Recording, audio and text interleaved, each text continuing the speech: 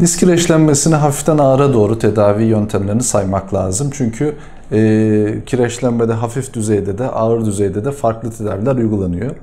Hafif düzeydeki kireçlenmede öncelikle hastanın kilo vermesini istiyoruz. Bunun için hastayı diyetisyene gönderebiliyoruz bazen.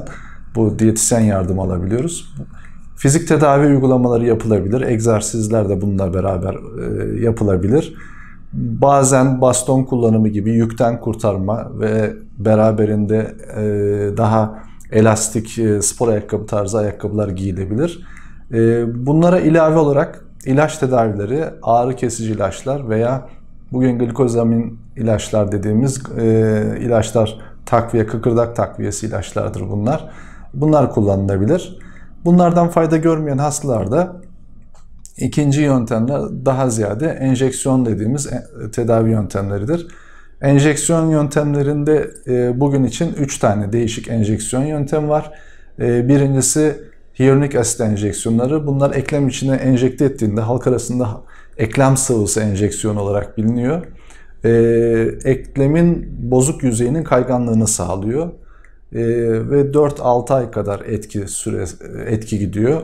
E, yine ikinci e, enjeksiyon PRP dediğimiz enjeksiyonlar e, elimizde mevcut. PRP dediğimiz enjeksiyonlarda e, hastadan bir miktar kan alıyoruz. Bu aldığımız kanı belli bir işlemden geçirip içindeki pıhtılaşma hücrelerini alıyoruz ve eklem içine enjekte ediyoruz. Pıhtılaşma hücrelerinin üzerindeki proteinler eklem içinde bir iyileşme uyarısı meydana getirerek e, hastaya rahatlatma etkisi yapıyor. Bu da yaklaşık bir yıl kadar bir etki sağlıyor.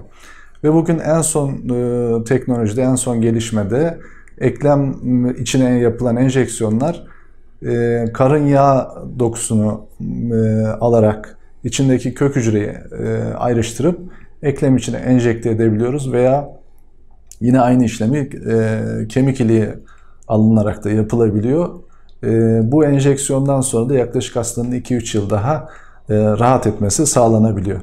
Bunlara rağmen hiçbir tedavide bu tedavilerin hiçbirinden fayda görmüyorsa hastalar cerrahi tedaviler gündeme geliyor.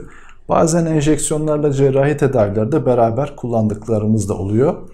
E, cerrahi tedavilerde bacaklarda çok fazla eğrilik varsa kemik düzeltme ameliyatları yapıyoruz.